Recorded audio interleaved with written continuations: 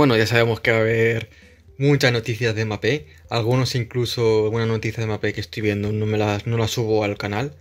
Porque muchas veces es más de lo mismo. Pero bueno, esta vez ha hablado otra persona, así que los voy a subir al canal.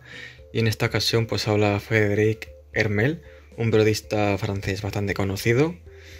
También es amigo de Zidane, entre otras cosas. Sabe un poco de cosas de Real Madrid, así que bueno, no es un cualquiera. También sabe un poco de equipos franceses, obviamente. Aunque el PSG no tanto, ¿no? Pero no, le cae muy bien. Pero bueno, tiene sus contactos en Francia también. Así que bueno. Y dice que, que Mbappé no cree que venga. No lo cree. En 2022 sí que ve bastantes posibilidades. Dice lo mismo más o menos que Fabrizio Romano y otros periodistas.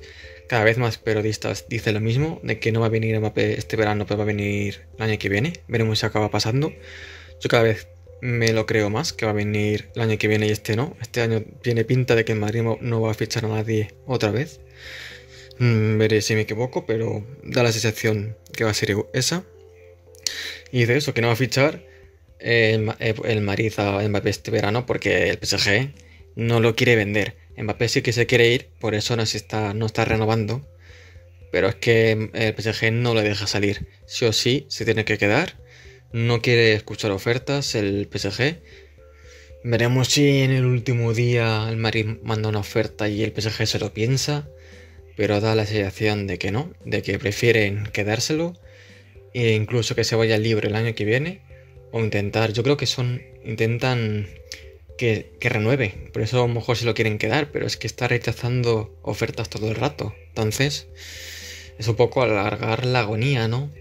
Además, el año que viene no recibes nada y este año podías recibir ciento y pico. Entonces el PSG, bueno, es verdad que el PSG no es un equipo que necesite tanto el dinero, viendo cómo están las cosas, viendo que es un equipo jeque, que hace lo que da la gana, se salta, se salta las normas y no, le, no les sancionan, aunque son ciento y pico millones, pero bueno, cada uno ah, hace lo que quiere, ¿no? Pero bueno, veremos a ver qué pasa.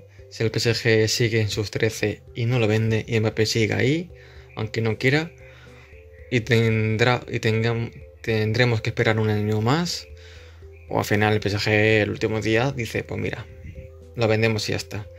Así que bueno, veremos a ver qué pasa con este tema, que la verdad es que estoy bastante harto.